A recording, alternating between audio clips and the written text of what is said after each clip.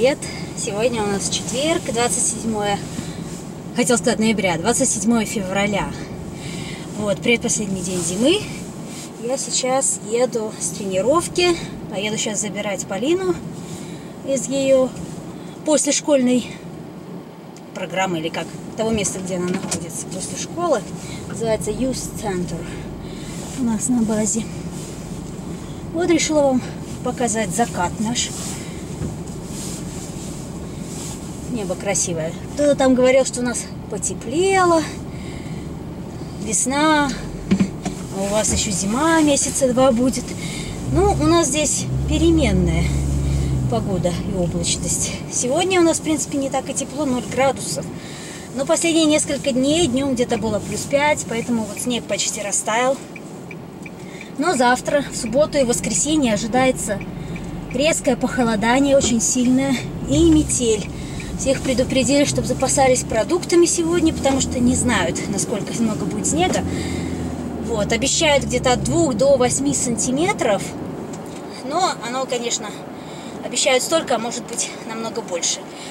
Поэтому лучше быть, конечно, готовым. Поэтому, говоря, нас как бы на работе предупредили, запаситесь продуктами на всякий случай, если вдруг получится так, что не сможете вылезти из дома.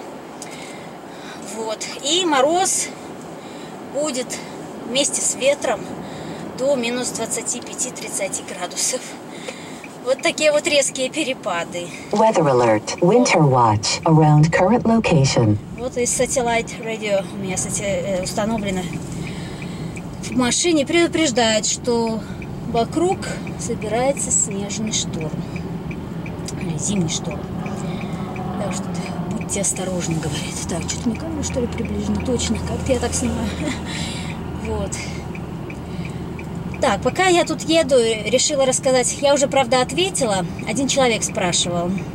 Вот, поэтому я написала ответ. Ну, решила, вдруг это будет интересно не только одному человеку, поэтому решила как бы еще и видео рассказать.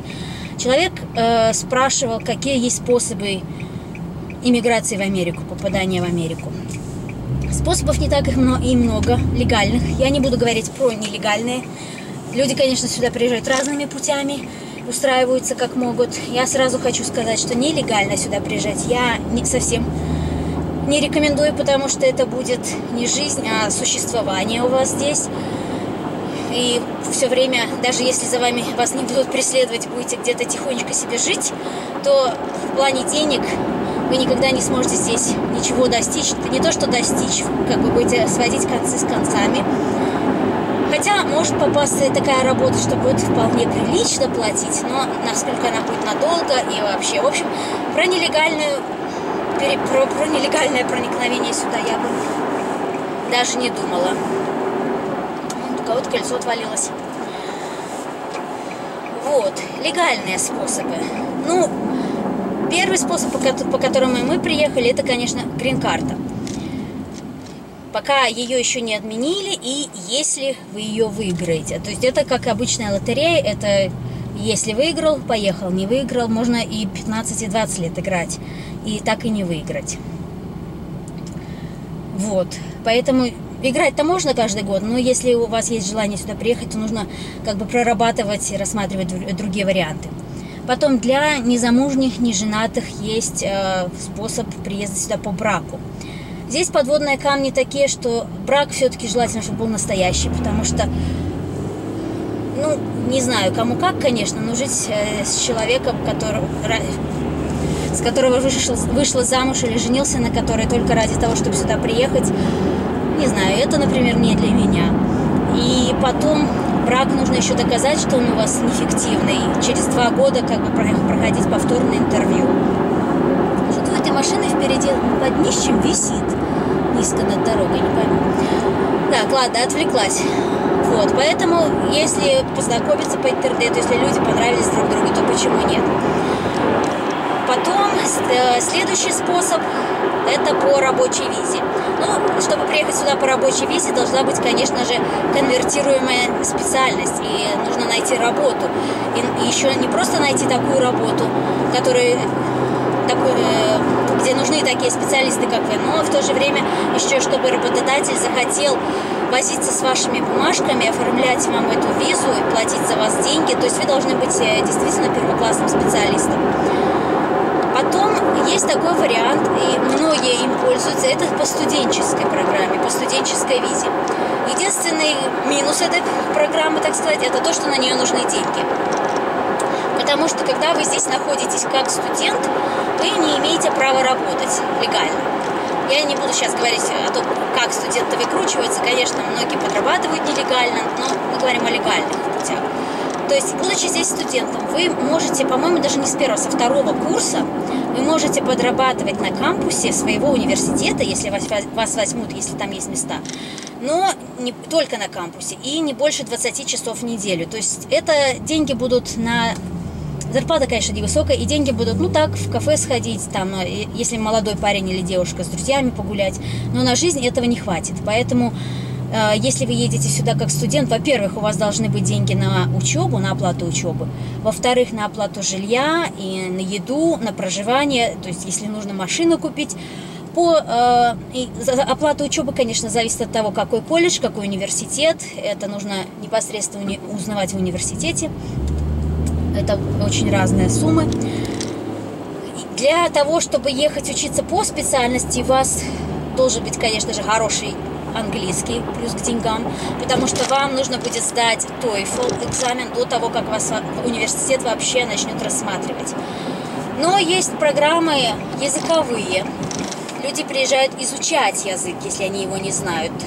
Тогда, если ехать по такой программе, то тут вопрос только в деньгах и найти такую программу. Такие программы, правда, обычно коротенькие, обычно 6 месяцев, где-то год максимум.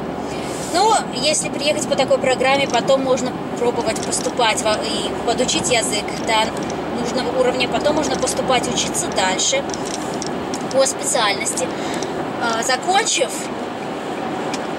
если вы получаете бакалавра, э, заканчиваете здесь, у вас есть э, год в течение этого года после окончания вы легально можете находиться в стране и работать. Это как бы дается вам время на то, чтобы пройти такую вот практику. И многие люди как делают? Они вот заканчивают учебу, устраиваются на эту вот работу, работают в течение года, но не просто работают, а как бы налаживают контакты, связи, находят работодателя, который готов сделать им рабочую визу и работодатель делает рабочую визу, а потом, возможно, и грин-карту. То есть вот через такой путь проходят и как бы остаются здесь. Этот путь, конечно, очень э, денежный, день, деньгозатратный, я бы так сказала. Вот. Какой еще есть вариант? Так, что-то у меня из головы вылетело, что я уже сказала. Так, по браку, по работе, как студент, по грин-карте. Что-то пятое забыл, знаешь, что пять. Ладно, не помню. Сейчас, если вспомню, скажу.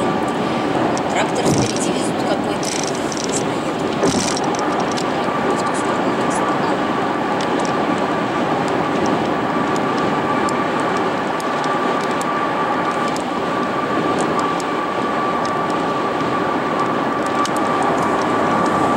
Солнышко заходит. скорость ограничения 65, я еду где-то 69. А этот с трактором пилит, я его не догоняю. Хорошо едет здесь вообще. Да, ну, в общем, вот такие вот как бы легальные способы иммиграции. Ну, и легальный способ, это легальный. Если у вас, вам действительно в вашей жизни, в вашей стране что-то угрожает, то вы тогда едете как беженец. Но здесь встает вопрос, если вам действительно что-то угрожает, то почему ехать так далеко? в Америку, почему не поехать в ту же Европу, в соседнюю страну сбежать? Это как бы мои, как личные такие подозрения. Я думаю, такие подозрения есть и у тех, кто рассматривает дело, поэтому здесь доказательства должны быть действительно сильные, что вам действительно угрожают. Хотя я как бы с этим не сталкивалась, утверждать не буду. Может быть, это не так сложно получить убежище по и остаться здесь по беженской программе. Да, вот э, заодно я тут вспомнила, люди спрашивали, какие льготы или что положено, если ты приезжаешь сюда по грин-карте, на что, на какие программы можешь подавать. Вот просто в этом видео сразу хочу ответить, что при прохождении в посольстве интервью вы подписываете бумажку, в которой как бы сообщаете, что... Ну и показываете свою финансовую состоятельность, опять же. И вот подписывая эту бумажку, вы подписываетесь под тем, что вам не нужна будет никакая помощь от государства, и что вы сами состоятельны и самодостаточны, и сможете себя здесь обеспечивать. То есть, приехав сюда по грин-карте, вы, конечно, можете подавать на какие-то программы, никто не будет проверять, ну, до поры до времени. А, подписывали вы там эту бумажку, не подписывали, и вообще по какому вы здесь статусу, как вы сюда приехали.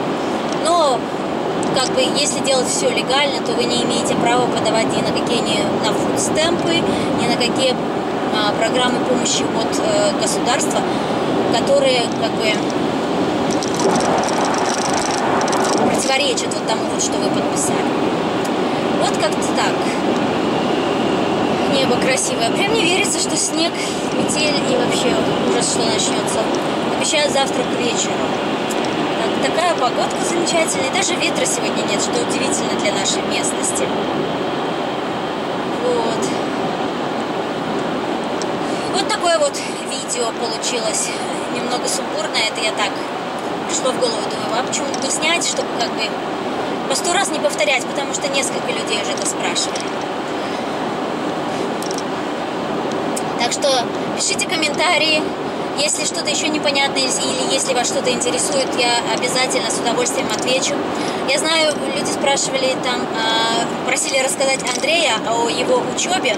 Я бы, конечно, сама рассказала уже давно, но я боюсь, что я как бы всех подробностей все равно не знаю. Не я же все-таки училась, а он учился. А он все никак не соберется. Так что, может быть, как-нибудь я его заставлю сесть перед камерой. Но пока у него как-то нет желания снимать на эту тему видео, потому что он говорит, что это было давно.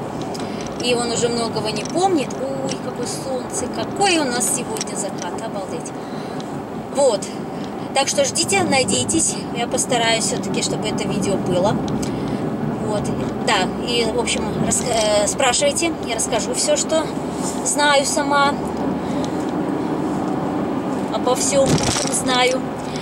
Ставьте лайки или дизлайки, если вам понравилось, если не понравилось. В общем, реагируйте как-нибудь, чтобы я знала вообще, стоит ли снимать в таком формате, дорожном, как бы в хайвейном, потому что я знаю, рисунок-то, картинка-то не очень скучноватая получается.